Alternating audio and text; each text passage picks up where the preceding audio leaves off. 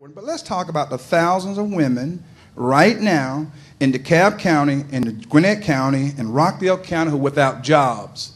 This is about jobs first, and that's why I'm disappointed in the congressman. He will not come and talk about jobs. There is no plan. As a matter of fact, at the first debate, I revealed one of my economic development plans was to get money to go and extend the rail MARTA, MARTA from South DeKalb out to Stonecrest. That would create thousands of jobs. Ladies and gentlemen, eight time Emmy Award winning journalist, my partner and friend, Mr. Maynard. So we're proud to have first a young lady who has distinguished herself as a state senator. She's also uh, previously been a candidate for the 4th Congressional District, and now she's a reigning, powerful DeKalb County Commissioner, Ms. Connie Stokes. Thank you.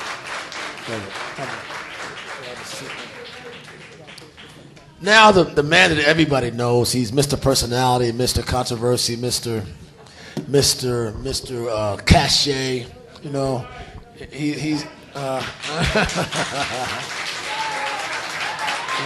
Mr. Colorful. He's also become almost like the co-host of, of Newsmakers Live. He's here so often. You know? But he's our friend. He's a good guy. He's, he's, he's run for Senate unsuccessfully. I think he learned some lessons there. He, he ran uh, eight time, I mean, uh, two-term uh, CEO of DeKalb County, and and whether you like him personally or not, you can't argue with his record. Ladies and gentlemen, let's welcome um, DeKalb County's own Vernon Jones. Wow.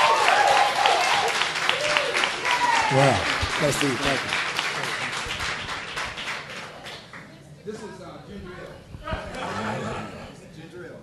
Lady and gent, um, lady and gent, there's an empty seat here. Uh, what's what's what's at play with the incumbent? Have you run him off the stage? I'm told it's not the only time he's not been here. Is he just uh, doesn't want to appear with you guys, or have you insulted him, hurt his feelings, or something? Is he a, a inept, incompetent candidate or incumbent, or incumbents that far off the radar screen they don't, don't even compete anymore? I could go on and on. Uh, where is Hank Johnson, and what does it mean to your campaign? Well, first of all, I want to thank Newsmaker Live for having us all here tonight. Uh, I'm just glad to be a part of this. Uh, as it relates to the incumbent, I don't know where he is, but I know why I'm running. I'm running to reclaim the American dream for the people of the 4th Congressional District. Uh, I'm hoping that people will uh, see something in my candidacy that I can relate to them. I've served, as you stated, 10 years in the state senate. And the important thing is, I think experience is very important in this race. And uh, we, we talk a lot about fresh ideas. We definitely need that. That's innovation. But experience is very important. And I've had 16 years of experience as a legislator. So I'm, I'm asking the people of the 4th Congressional District to send me to Washington to get some results, results around jobs. That's the main thing. And that's uh, done by supporting small businesses, uh, I've been a small business owner myself. I owned a Remax franchise for 10 years until I sold it. I had 45 agents. So I understand what the pain is around those issues. And then reclaiming the American dream also means education. It means uh, home ownership, which I've been a real estate broker for many years. A lot of people, someone stopped me in the parking lot today asking me to help them to be able to save their home. So those are the reasons why I'm running for, for this seat and I'm asking the people to vote for me on July 20th. And I have a long list of other reasons, but I'm going to let my. I, I want to. I want to follow.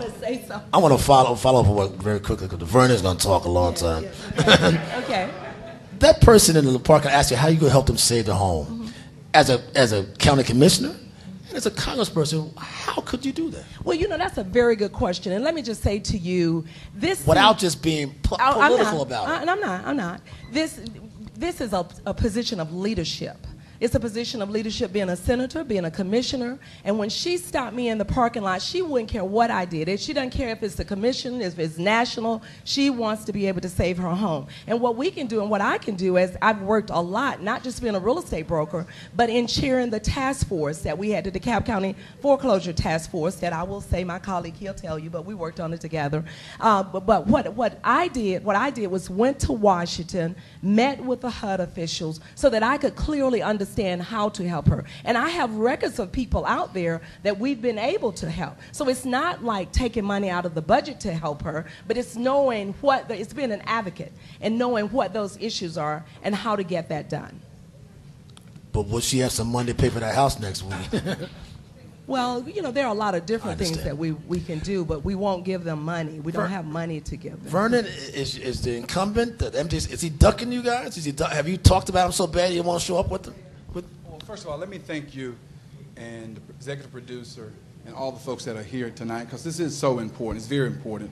So I want to thank you for being here. And secondly, I, I certainly want to thank Ms. Parker. Ms. Ms. Parker is with Crossroads News, and for her being here, sharing her wisdom. Uh, she's a esteemed journalist herself. and- Columbia University graduate. You got two of them in here tonight. and Caribbean too. I like that Caribbean that's flavor right. she had. So, uh, but thank you for being here, Ms. Parker, because she has been covering a lot of what's been happening. But I- I'll say this: uh, Commissioner, or I should say Congressman Johnson, is a nice man. Uh, I consider him a friend. I am disappointed, as important as the issues are in this fourth congressional district, that he's not here to give you his position. He's not here to talk to you about his vision. He's not here to talk about how he would create jobs. He is literally using press releases as an incumbent to send to local papers so they can say, oh, I got appointed to this committee or that committee. And it's unfortunate because people want to ask him questions. They want to know where he stands. I certainly want to do, do it. I want to debate him openly, publicly, civilly, uh, and talk about what's really important. From day one, I've been talking about jobs first. Because no matter what, schools are closing because of shortfall of revenues. Small businesses are closing because not having access to credit. The banks got bailed out on Wall Street, and they started buying other banks that didn't make credit available for those of us who wanted to either refinance our homes or buy a new home. At the same time, when you look at AIG and those others, they're posting record profits, record profits. And, and right now, people are still losing their homes, banks are still slow to provide credit, and people are still out of jobs. Small businesses across the board, they were left out on the stimulus package. And I ask anybody in here who got a stimulus check? Let me ask any small business in here who got a stimulus check? They did it the wrong way with that stimulus check. They put the Wall Street guys around the table, and they were the ones who determined who was going to get the money. Where were the people at that table that looked out for us each day? The, the people who have small businesses, the people who are working in meals, the people who are, who are barely making it. Where were they? Their tax dollars were used, Maynard, but they were left out of the equation. So That's why I wouldn't- have done something totally different. You different. wouldn't have voted for it. Uh, no, I wouldn't have voted for the stimulus package. I would have been having, having the experience of creating jobs. Since I've been in office past eight, eight years as chief executive, we've been able through our economic development to create over 16,000 jobs. There are people who are working in DeKalb right now with capital projects, infrastructure projects that were based on the stimulus package that I passed in 2004 to build libraries, to improve our infrastructure. They are working right now. And those who are not working on the projects, who are in the back offices doing the clerical work, they're keeping their jobs because those small businesses have gotten access to some of those contracts. Ms. Stokes, you were there part of the time with him. Was he that good? Did he do all that? I had to approve it. he said, Verna, and, and, look, Mr. Mr. Former CEO, he called me every Monday said, okay, what are we going to do tomorrow? That's the truth. Tell him that's the truth. But we did, we did, we did. I mean, that's the truth. That's the way it works if you understand the process. Uh, we have CEO Burrell Ellis there now, and uh, that's what the CEO does, and that's what the commissioners do. I have to, I have to read all of the ordinances and make sure that it's something that we want to move forward. But let me just get back to this because uh, it is very important that we help small businesses. It is very, very important. 65% of the jobs are created through small businesses. I've been a small business person myself. It's documented. It's not difficult to find. But uh, we really, really need to do that. And one of the ways we do that is making sure they have access to capital. When I talk to people about supporting small businesses, and someone mentioned to me, like for example, the Small Business Administration. The Small Business Administration does training. That's about what they do. And most people will tell you that I can't get any help through going through the Small Business Administration. So that's very, very important that we do that so that we can create jobs and, and be able to uh, turn this Many economy people around. are lamenting. May, may I respond to that because it is important? Uh, Commissioner Stokes is right in some regards. As a chief executive, I provide the agenda, and of course, there are items that they have to approve. But this initiative, the spear, the tip of the spear of this initiative has Vernon Jones written all over it. And actually, ultimately, it was the people of DeKalb County who believed in me who went out and voted for it overwhelmingly, not the commissioners. Matter of fact, some of them didn't think it was going to pass and they started hiding, didn't want to get out and campaign because they said this is a referendum on Vernon Jones's leadership. So, in all honesty, if you look at the tip of that spear, Vernon Jones is on it. And as a matter of fact, before the commission even gotten there, uh, we had economic projects going on. I created the first Office of Economic Development in DeKalb County's history. And Commissioner uh, Stokes was, uh, uh, respectfully now, she was in the legislature. Is this a, a, a referendum on Vernon Jones, his power, his prestige, his prominence? Well, let me just say this. If anybody pay attention in DeKalb County, no, I am running, not running and hiding from anything. I mean, I provide leadership. I chair the Budget and Finance Committee. I was there. I was not there in 2001 or uh, 2003 when the first one passed. I was in the legislature, but I was there when the second one passed. But I don't want us to go back to that. I, when I'm, when, whenever I've had to run for reelection, I always say we, we can't get anything done tomorrow talking about what we did yesterday. My record is all over the internet. I had 10 years. I chaired, uh, I chaired the Senate Health and Human Services Committee. I was a floor leader to Governor Barnes when I was there, one of his three floor leaders that was in the Senate. I was the first person to hold both of those positions at the same time, and the first woman to ever hold that position in the Senate. So I have a record of success, and I'm hoping that's what people want is experience, especially today. You need someone to, who can go to Washington and turn things around and create jobs, aren't, and that's what my record Aren't is. many people suggesting it's time to have a new change, to turn over what's been in Washington? Oh, absolutely. Is it, is, absolutely. Absolutely. Let me answer that. People want change. People want change. People voted for change in 08. They still say they haven't gotten a change. Let me tell you what change looked like. We have 15 men that represent us in Congress. 15. We do not have one woman, one qualified woman. That's change. All right, let, let me say this, um, Maynard. Commissioner Stokes, she's right. She's held positions, but she's never created jobs. It's a big difference. Secondly, uh, I hear Commissioner talk about a woman needs to go to Washington. Women and men are out of jobs.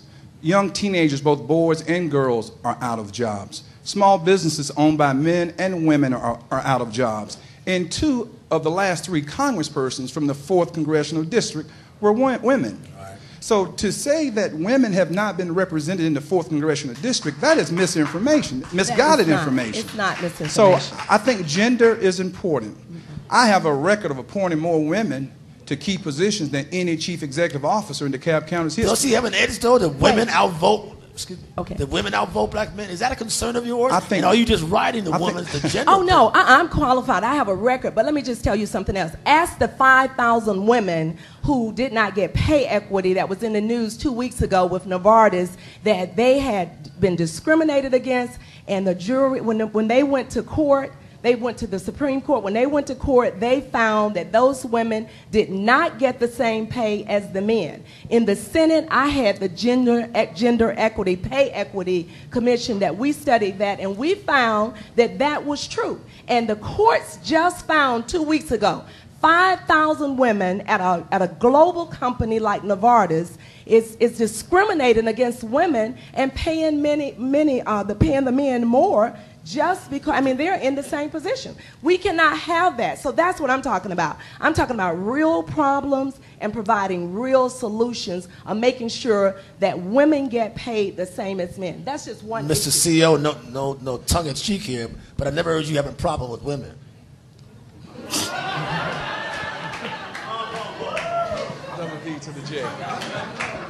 Uh, let, let, me say this. Um, the greatest woman I ever met was my mother. Of course. The second greatest woman I ever met was my sister.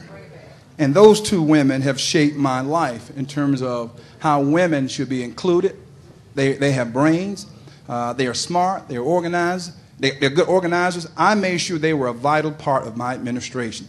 But she's talking about Novartis, and that's important. But let's talk about the thousands of women right now in DeKalb County, in Gwinnett County, in Rockdale County who are without jobs.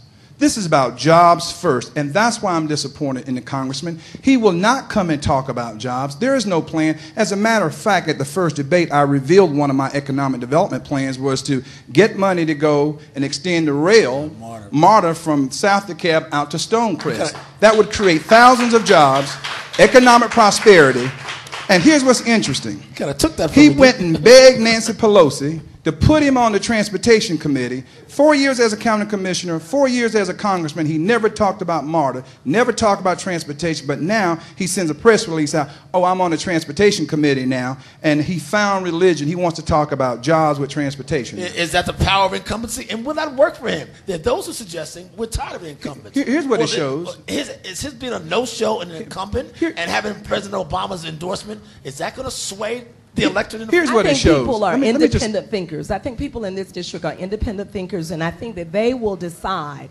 I mean, uh, I mean, I'm sure he's happy that he got the president's endorsement, but I think the people that live in the fourth congressional district are concerned about jobs. They're concerned about being able to educate their children, to get a good education, to be able to buy a home. That's what the American dream is about. And I, I'm just happy that I get the opportunity to rep- I've had the opportunity to represent people uh, in the, some of the people in the fourth congressional district for 10 years in, as their state senator, to be on the, uh, the uh, commission now. I'm excited about that. And I always say that I am so excited that I grew up in a country where those things was was possible in a place wherein I did not know my father. My mother was an alcoholic. I lived with my grandmother. And, and I, this is, that's why I say I work so hard and I'm going to Washington to get results because I've had to work hard all my life. My first job was when I was in high school. So when people start talking about what it is that they can do, I have a record of success. I have a record of working hard, and I will continue to work hard, and that's why I'm asking people to vote for me on July 20th to go to Washington and represent you and work hard and get results. Well, it sounds like a race here. You know what, Maynard? Um, I started working when I started walking. If you, if you live in the country, you worked from day one. Hard work ethics were developed. But let let me, let me come back again. I, I, I appreciate Commissioner Stokes, and I think she's a fine person. Washington right now cannot balance a budget. There's record deficit spending. I have been an eight year legislator and an eight year chief executive, and by the Constitution, we had to balance the budget, only spend what we can bring in. I have a record of creating jobs. I have a record of, of creating the first local office of Homeland Security because Homeland Security starts at home. When you dial 911, it doesn't go to Washington. Your police and fire are your first responders. I have a record of the environment of creating uh, green energy by capturing methane gas at our landfills and selling it to Georgia Power, and they in return selling it back as green electricity, taking trash and turning it into cash. That's my record. I have a record of not laying anybody off. I have a record of hiring people and putting people to work, and that's what the problem is now. People want to go to work. And Congressman Johnson and this United States Congress have it wrong. And the president, I respect him, I want to protect him, I want to support him, I want to be a strongest ally. But the president is wrong, I got to correct him. Mr. President, you can't put yourself around all these Ivy Leaguers. You got to have somebody around that got plenty walking around sense to know what's going on on the ground. Stay with me on that minute. I, I am serious about this. I, I am very serious about this race. You know, I have what it takes. We're not even discuss experience. I'm just really. uh, It, it, What does it take in the fourth district? Now we had we've had the, uh, the uh, uh, Cynthia McKinney, was considered a way left, a way liberal. We've had uh, Denise, Denise, Denise Majette, who was kind of middle of the road. We have we have uh, Congressman uh, Johnson, who we're not quite sure what he is, other than a Buddhist. You know, um, Guam. Uh, uh, Man, what, where it's going to take it? Has the district changed? Uh, can a Republican win here? What are you suggesting? I, What- I it don't want to talk about whether or not a, a Republican can win because my the way I've always done, I've been in many elections because the Senate was every two years, and this is a four-year seat. But any name on the ballot, I treat them as a worthy opponent and figure they can win. And so I work very, very hard. I want to get out. I want to talk to the people, and the people will decide. Ultimately, if you live in the fourth congressional district, you will decide on July 20th when you go to the polls who do you think will best represent this district. And again, I'm asking you to vote for me on July 20th because I have a strong record, and this is a legislative job. In this room, you all have experience because you've had jobs. This is a job to create legislation, to make policies that will move this economy forward. And that is what I have been doing. And in this race of the seven people running, I have more legislative experience than anyone else in this race. Mr. CEO, in this in this race, is this an uphill battle or is the missing seat is he vulnerable? Can you one of you two actually take this thing? Well, well let me say this. I, I got to say something that's really important. Uh, I've been a state legislator. It's a difference between a state legislator and being a chief executive. Um, legislators don't just legislate either. When you're talking about balancing a budget, when you're talking about creating health care reform, when you're talking about that immigration issue right now, because let me tell you the impact that's going to have on health care. If they allow those who are illegal to become legal under this health care, you know how many of us who were born, reared here with generations of family members here, and all of a sudden we're going to get pushed behind because these illegals are going to be U.S. citizens and they're going to get ahead of the line and they're going to get the health care. So you have, being a legislator is one thing, but you got to be a legislator to understand the role of the chief executive and help shape that policy and understand the budgetary effects of it. Are you two? I, let me just. I need to respond to that because I chair the budget, the budget and finance committee, and I, I've been, I'm responsible for directing that process. And what I said when the CEO gave us the budget December 15th is that we were not going to increase the millage rate in DeKalb County. We did not. We had seven votes that said we would not recommend a millage increase, and in, um, we're still continuing to work on it. When we take that vote, we're still committed to because people are hurting, and we do not want them want to raise taxes at this time. So that is very, very important. So I've been spearheading in DeKalb County right now. If you live in DeKalb County, you know that I have to make sure that the budget is balanced. I was over there today. We were going back and forth doing the pluses and minuses, making sure that that budget will be balanced on June, June before 22nd. We go, before we go to questions, and, and people who want to ask some questions of these two dynamic candidates, uh, here's Tara right here. Tara is going to be handling that aspect of it. But let's talk a bit briefly about DeKalb County. And those who suggest uh, the golden years are when you were CEO. Those who suggest that. And then now reports in AJC this week that the, the, the flavor, the cachet of DeKalb is tilting downward. It's not quite the same. I'm just asking, have we lost the, the glow of DeKalb County? And what can either of you do to restore it? Well, first of all, this four congressional district is DeKalb, Rockdale, and Gwinnett. Right. I was Rockdale out- is not that great either. Yeah, well, I was out in Gwinnett earlier today, and I try to get throughout the whole district. I don't want the people in Gwinnett or Rockdale to feel, and this is, you know, you said it's streaming on the internet, to feel that it's not about them. We were talking about the DeKalb County's budget because the CEO was there and, and I chair the budget process. But I think that people really, really want us to focus on turning the economy around. And what that means in DeKalb County, I'm, I'm not always happy with what is reported in the news, but it means that we've got to, we've got to get jobs, we have to create jobs. That's what people are concerned about. They're concerned about all the foreclosures. Uh, I don't have people calling me and say, hey, well, our image is not doing good. I have people calling me like the lady today and saying, I, I need some help. You know, I don't have a job. I'm, I'm not able to pay my mortgage. My home is going into foreclosure. So I'm going to Washington and I'm running and asking for your support because I believe that based on my experience and experiences that I can get the results in Washington. And so I'm asking for your vote on July 20th to reclaim the American dream and to break up the Good Old Boys Network. Uh, yes, M- man, let me say this. Um, You hitting on that? You hitting on these men, aren't you? Uh, and, and she means it well. She, it's not, I don't think it's mean spirited. Um, and I support her and women's initiatives. Let me be clear about that. But Maynard, when I was the chief executive, she has one vote. The chief executive has to gather up those votes to pass that budget. Now, that comes with being persuasive, and it comes with doing a little horse trading, but you get your budget through. And I got my budget through every single year, and I never suggested raising the millage rate. The problem I had with some of the commissioners, though, they didn't see the whole county. They were so anti business when it comes to zoning, anti business when it comes to want to stop uh, pouring hours, for example, losing revenue. You can't keep cutting revenue and expect to have money in the budget. You can't do that. You, you, you can't be anti small business. You can't be anti quality economic development. And many of them had those parochial views, didn't want it to happen, and they choked themselves. And I know it's true because one of the commissioners said at a budget hearing uh, early in the year that Vernon Jones was right. He said he saw economic downturn coming. And, and by the way, I saw it in 2007 the AJC wrote an article that I was, uh, I was an isolated case. DeKalb was just an isolated case. Lo and behold, six months later, the state said their revenue was down 20%.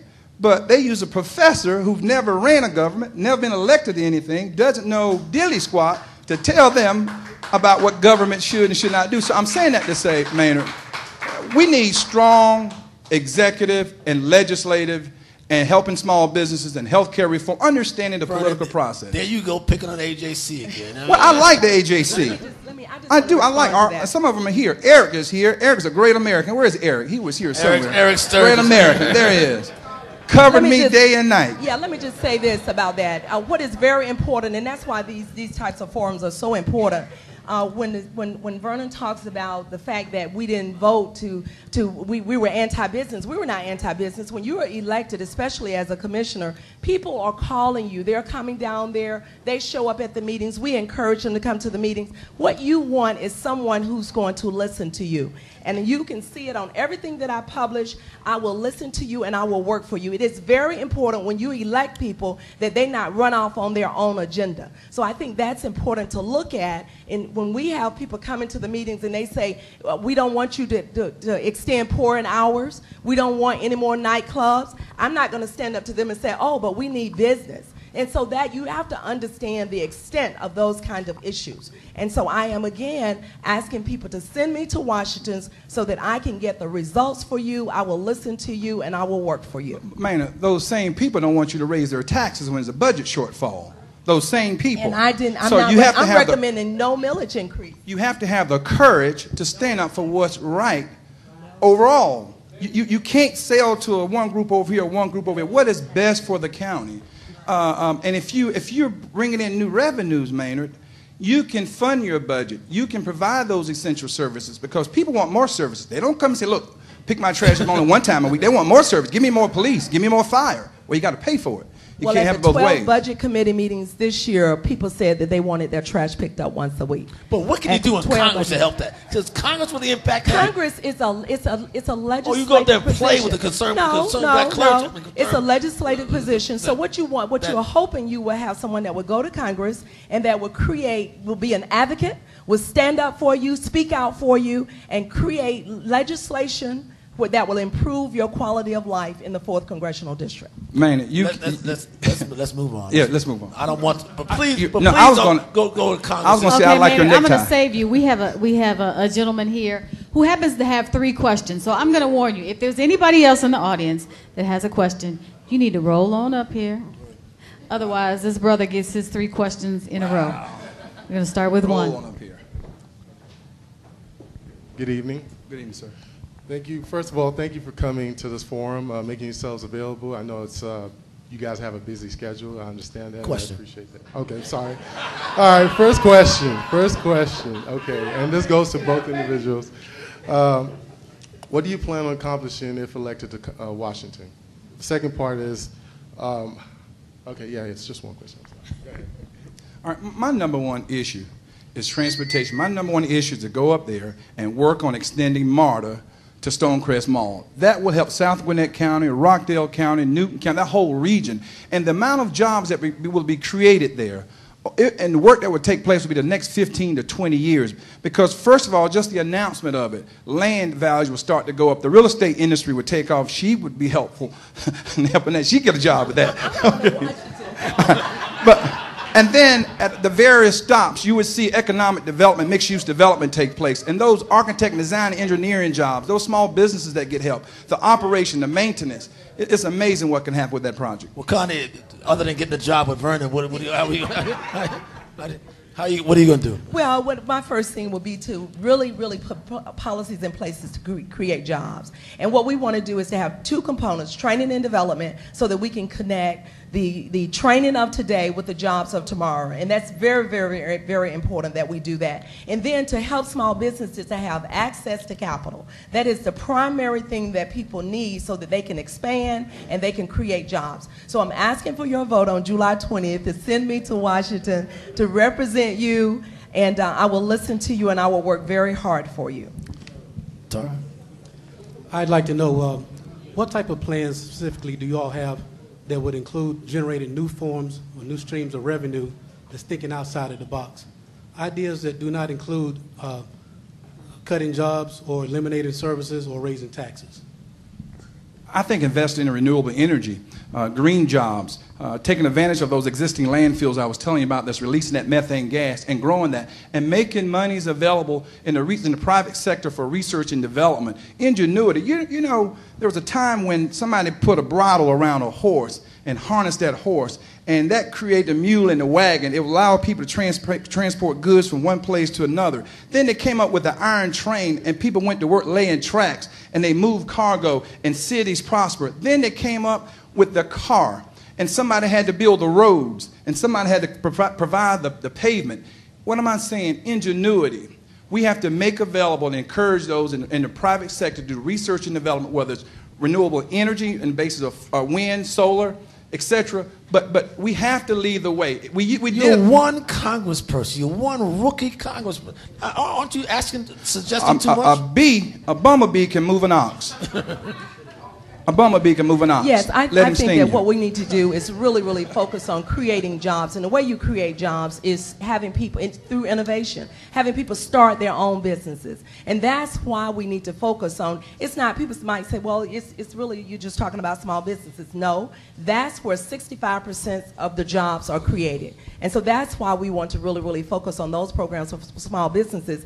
The, in answering your question, innovation is the private sector. Innovation, new ideas, new jobs, new businesses. It's not really about programs. It's really about uh, innovations and having people, uh, having the type of policies in place where people can create their own businesses. okay, last question. Okay, we have one last question before we have to wrap it up.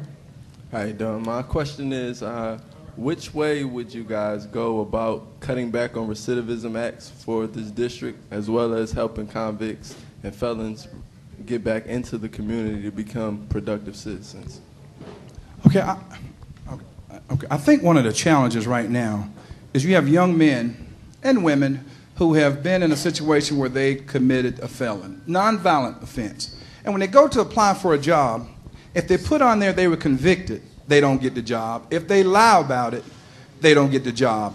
And I think we have to carefully look at that. What we need to do is to support those types of programs that's actually helping to get people transition back into society and reconnected with their families and having a su- support structure.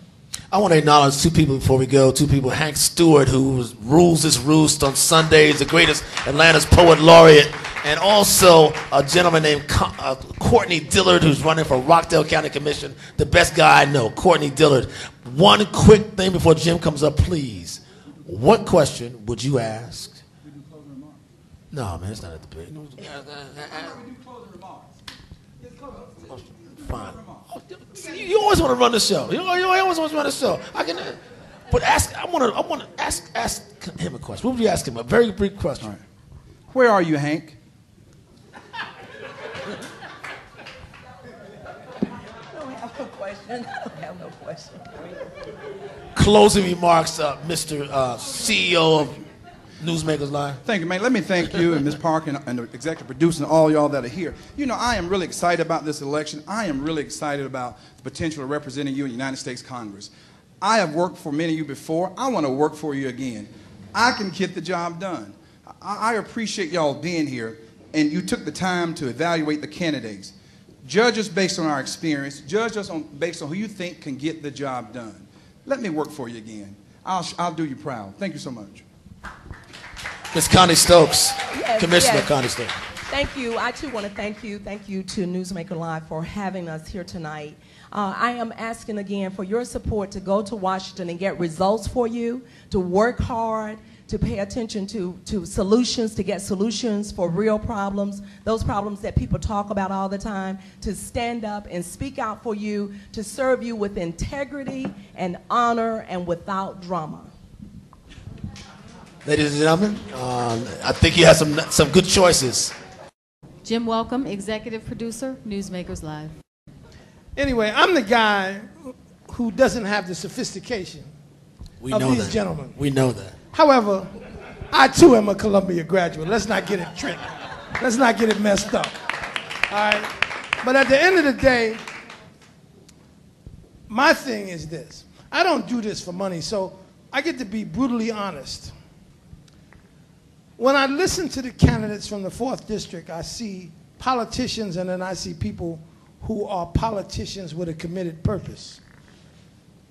I'm not going to endorse anybody in front of you, but I'm going to say to you, of all the people who appeared here tonight, there is not one, there is only one person who didn't use some political ploy to get their way. And that person was Vernon Jones. Now, why? I don't know. But I've been inundated re regarding this Liz Carter issue. And one of the candidates here even refused to appear if I didn't allow Liz Carter to participate. Now, my, my position is this nobody gets to tell me how to do my show. Who does that? You don't tell 60 Minutes who they can have. Why would you do it to me? At the end of the day, we have heard from these candidates. And I need you to know that the candidate that has been least a problem to us, I talked about earlier. At the end of the day, I want you to know that the reality for us is that we need people who have intention to do good. Now, whether or not they're a Republican or a Democrat is insignificant to me. But if their intention is to serve you and you know they have served you, maybe you need to think about where your next vote should be. Additionally, you need to know that there is not a person that was on the promotion to this that didn't say from day one that they were coming, including Hank Johnson. Hank Johnson told me Thursday of last week that he would not be here. He didn't say, You rescheduled this just so I could be here. He said, He acted as if he had no knowledge of its existence. At the end of the day, to me, that's an affront. As the executive producer, producer, and what that means, the guy who pays for all this shit, that pisses me off. So, ladies and gentlemen, this has been Newsmakers.